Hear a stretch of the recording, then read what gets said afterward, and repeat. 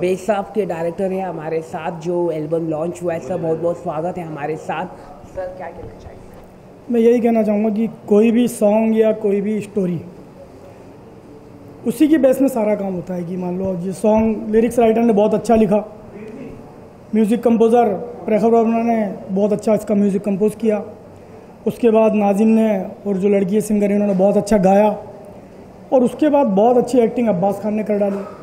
तो मेरी जो पूरी टीम थी राइडर्स ग्रुप एंटरटेनमेंट की चाहे वो डीओपी हो चाहे वो सेट डिज़ाइनर हो चाहे वो म्यूज़िक कंपोज़र हो लिरिक्स राइटर हो सबने अच्छा वर्क किया और उन सबकी मेहनत की वजह से ये सॉन्ग बहुत अच्छा बन पड़ा है। इसके अलावा कितनी तैयारी की थी आपने जब आपको ये शूट करना था और स्टार कास्ट को फाइनलाइज करना था? सभी डेब्यू कर रहे हैं नए स्टार तो दरअसल ये जो सॉन्ग हमने जो बनाया था वो हमारी मूवी के लिए बनाया था। तो हमारी मूवी में कहीं जगह निकली नहीं इस सॉन्ग को एडजस्ट करने के लिए। फिर हमने प्लान बनाया क्यों ना इसके पर एक एल्बम बनाया जाए। और लास्ट तीन महीने से मैं इस पर तैयारी कर रहा था, जिसमें मैंने अब्बास खान का कॉस्ट्यूम क्या होगा, लड़की का जो कॉस्ट्यूम है जयश्री नागरीवाल उसका कॉस्ट्यूम का क्या होगा लोकेशन कैसी होगी, ये सब हमने डिसाइड किया। इसके लिए मुझे पूरे तीन महीने लगे। जब पूरी तैयारियाँ हो गई, उसके बाद मैं शूट पर गया। और शूट पर हमने चार दिन का शेड्यूल रखा था।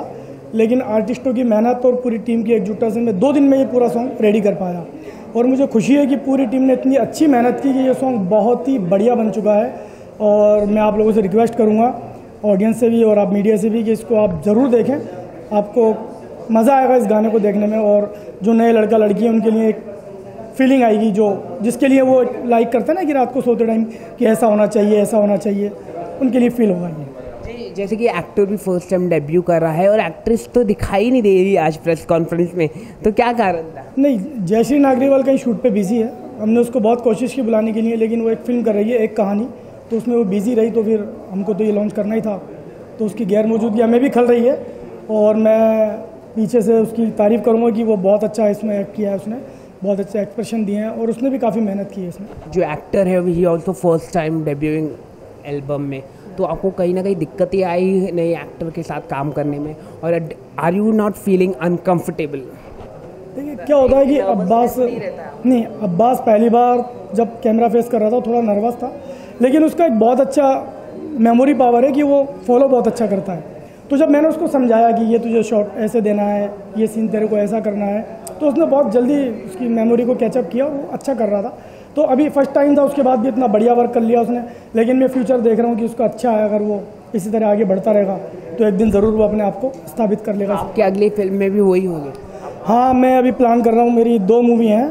तो अभी उन पर पेपर वर्क चल रहा है तो मेरा एक गुमान है ट्राइंगल लव स्टोरी उसमें मैंने अब्बास को सोचा है अब फ्यूचर में भी क्या होता है ये सब तो ऊपर वाला जानता है लेकिन हम सब लोग मेहनत कर रहे हैं। और मेरी पहली चॉइस अब्बास खान है। आखिर में क्या कहना चाहेंगे सभी दर्शकों को? मैं सभी दर्शकों को ये कहना चाहूँगा कि आप पुराने जो नॉन फेस हैं शाहरुख सलमान इन सबको तो सभी देखते हैं। लेकिन जो नए चेहरे आते हैं आप उनको भी देखा कीजिए उनका भी हौसला अफजाई कीजिए और उनको भी लाइक कीजिए ताकि हमारी फ़िल्म इंडस्ट्री में नए नए लड़के और नए नए डायरेक्टर प्रोड्यूसर ये सब आएँ और हमारी फ़िल्म इंडस्ट्री के लिए कुछ करें। सर आखिर में एक बड़ा सवाल है आजकल जो बॉलीवुड में एक बड़ा डिबेट चल रहा है सोनू निगम को लेके आज़ान पर। और आपकी क्या टेक है देखिए जो सोनू निगम ने कहा मैं उसके लिए सिर्फ़ इतना कहूँगा कि ये सब हमारा फ़ील्ड नहीं है। और जो हमारा फ़ील्ड नहीं है, उसमें बोलना, एक तरीके बेवकूफ़ी समझूँगा, क्योंकि हमारी जो एक फ़ील्ड है, हमारा एक जो बरदरी है फ़िल्म वालों की, वो एक अलग बरदरी है। इसको किसी भी रिलेज से मतलब नहीं है। इनको सिर्फ़ अपने काम से मतलब है। तो मैं बाकी सब लोगों के लिए ये कहूँगा कि ये सब हमारे काम नहीं है, कि मंदिर के लिए बोले, मस्जिद के लिए बोले, गुरुद्वारे के लिए बोले, ये सब काम जिन लोगों का, उन पर छोड़ दीजिए और आप अपनी फ़ील्ड में मेहनत कीजिए, कामयाबी के लिए, तरक्की के लिए। हमारा एंटरटेनमेंट लोगों का काम है। हम लोगों को बस मनोरंजन कराएँ। और वाह लूटे यही हमारा काम है। That's all thank you so much top welcome cameraman Rajesh Kumar के साथ किशलाल कुलियाल बॉलीवुड अड्डा